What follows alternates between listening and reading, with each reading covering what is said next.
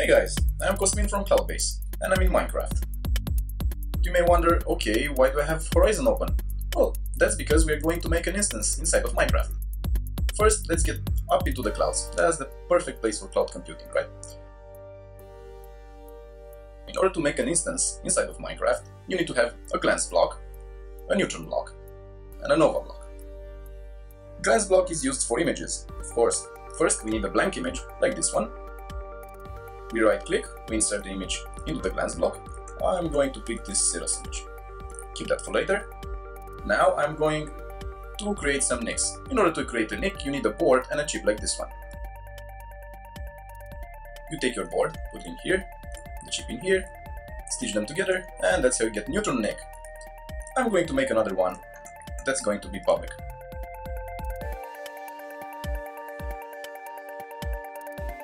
Now, that's not enough for an instance, we also need the flavor.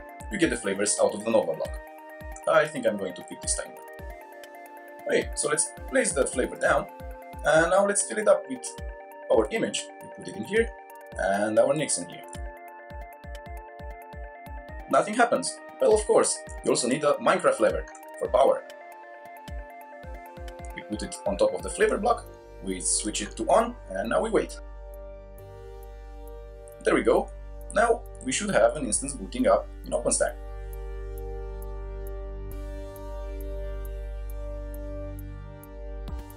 There we go, it's running. Okay, let's make another one. I take a new blank image. We pick our image. I think I'm going with this Windows server. Also, this machine I think I'm going to make it just private So we make a private NIC. And I have this predefined flavor, the Windows flavor. Okay, so we put this one down. You also can just fill out the flavor by right clicking. So I'm doing that because it's easier. Also I want another lever. Place it down, turn it on.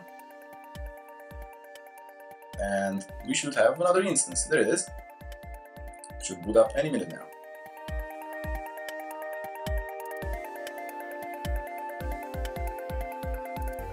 There we go, it has boot up. Let's see how Horizon looks like.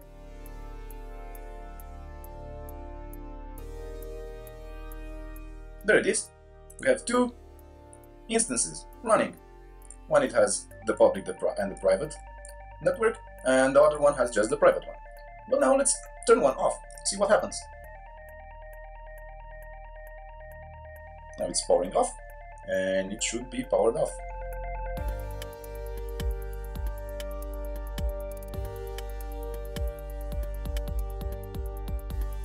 And now it's shut off. Let's turn this other one off so we can destroy them. You cannot destroy a Minecraft instance while it's running, only if it's already off.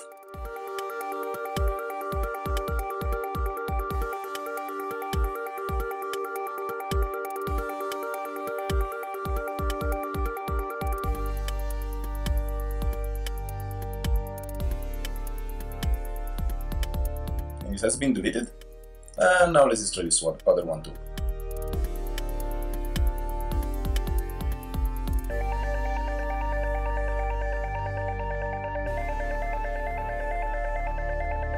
Instant results.